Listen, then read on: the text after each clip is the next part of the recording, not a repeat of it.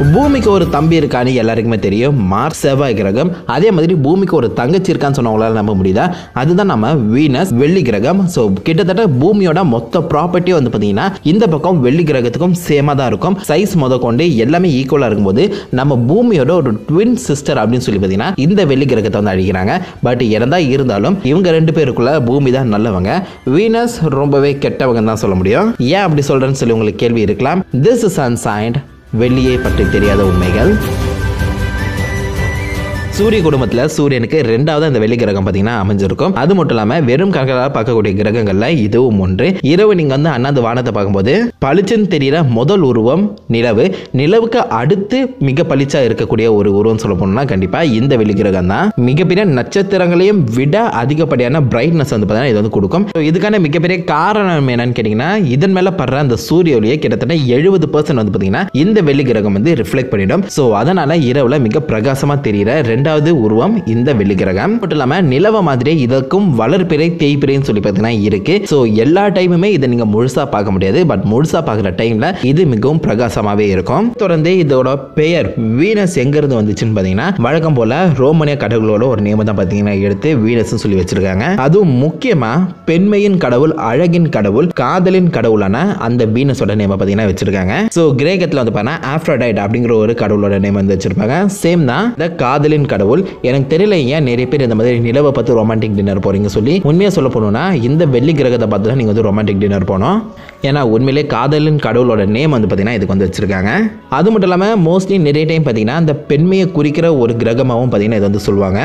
தாண்டி கிட்டத்தட்ட நம்ம பூமியில் ஏகப்பட்ட விஷயங்கள் வந்து பார்த்தீங்கன்னா இந்த வெள்ளி கிரகத்தோட வந்து ஒத்து போகிற மாதிரி தான் இருக்கும். முக்கியமாக கிராவிட்டி எடுத்துக்கிட்டீங்கன்னா கிட்டத்தட்ட ninety one percent of the earth gravity வந்து பார்த்தீங்கன்னா இந்த கிரகத்தில் வந்து இருக்கும்.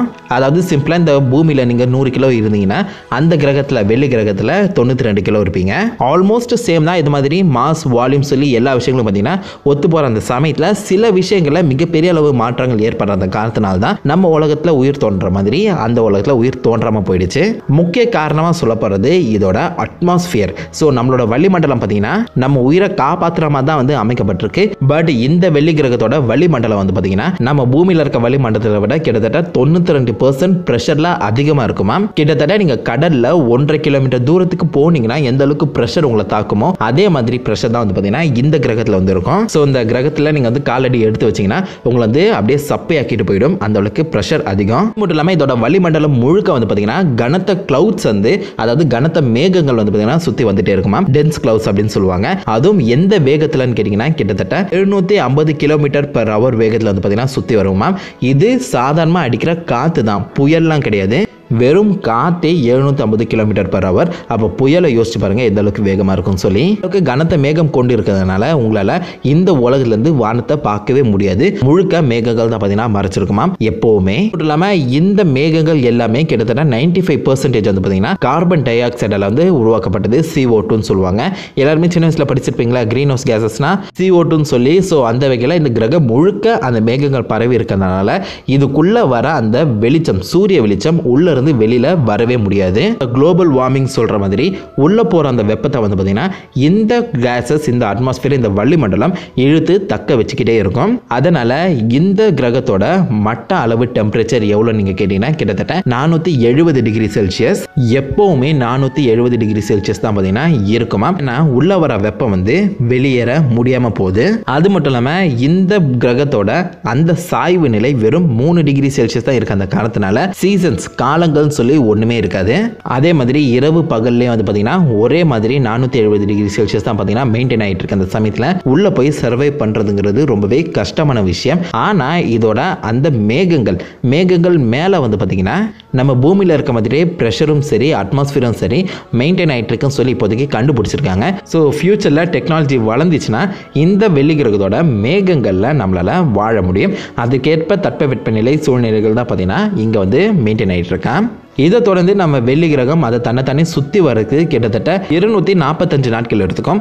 ஆனால் இது சூரியனை சுற்றி வர்றதுக்கு பார்த்தீங்கன்னா இருநூற்றி இருபத்தஞ்சு நாட்கள் தான் எடுத்துக்கும். சிம்பிளாக சொல்ல போனோம்னா இதோட ஒரு நாள் வந்து பார்த்தீங்கன்னா அதோட ஒரு வருஷத்தோட கிட்டத்தட்ட இருபது பூமி நாட்கள் அதிகம். நம்ம பூமியில இருந்து ஒரு வருஷம் டக்குன்னு போயிடுச்சுன்னு சொல்கிறோம் பட் உண்மையிலே வெள்ளி கிரகத்தில் தான் ஒரு வருஷம் டக்குன்னு போவோம். அது மட்டும் இல்லாமல் சூரியன் சுற்றி வர அந்த சுற்றுவட்ட பாதை வந்து பார்த்தீங்கன்னா ஓரளவுக்கு வட்ட வடிவமாக இருக்கிறது இந்த வெள்ளி கிரகத்துக்கு தான். இந்த கிரகங்கள் மாதிரி இல்லாமல் இந்த கிரகம் வந்து பார்த்தீங்கன்னா கிளாக் வைஸில் நம்ம சூரியனை சுற்றி வலம் வரும். நம்ம பூமி வந்து கவுண்டர் கிளாக் வைஸில் சுத்தம். அதாவது வலம் இருந்து இடம் சுத்தம். பட் இந்த வீனஸா வந்து பார்த்தீங்கன்னா இடம் இருந்து வலம் சுத்துது. மட்டும் இல்லாமல் சூரிய குடும்பத்திலே நிலவோ எந்த ஒரு ரிங் ஸ்ட்ரக்சருமே இல்லாத ரெண்டாவது பிளானட் இந்த வெள்ளி கிரகம். முதல் பிளானட் அஃப்கோர்ஸ் நம்ம புதன் கிரகம்.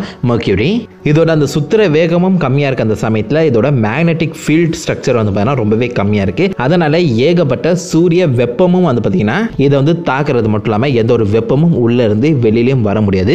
ஸோ பிளானட் சூடாகிட்டே போகுது. இந்த சூட்னாலேயே என்னமோ இதோட மேற்பரப்பில் வந்து பார்த்தீங்கன்னா எந்த ஒரு மிகப்பெரிய விண்கல் சேதமுமே பார்க்க முடியாதாம். ஏன்னா முக்காவாசி இதோட அந்த வளிமண்டலத்தில் என்டர் ஆகும்போதே எரிஞ்சு சாம்பல் ஆகிடுமா?